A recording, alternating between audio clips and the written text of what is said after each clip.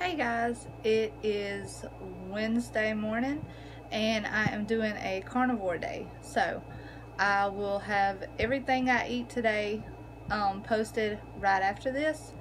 Me and the boys, my husband's at work, me and the boys have to run and pick up a part for our air conditioner because in Georgia it is like 90 degrees already.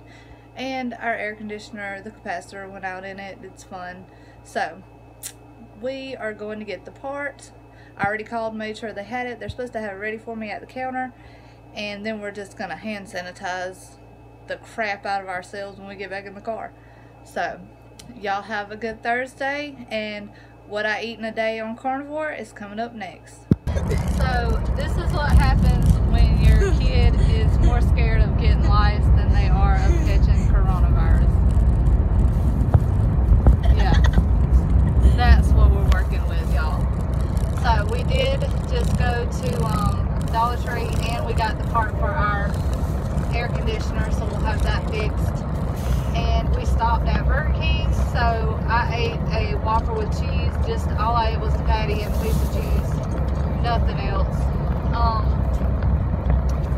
they gave me sweet tea instead of Diet Coke, so this one will be drinking that because he loves sweet tea. And um, we're headed back home. We did get some extra spray bottles and some cleaning supplies, and I'll have all that coming up.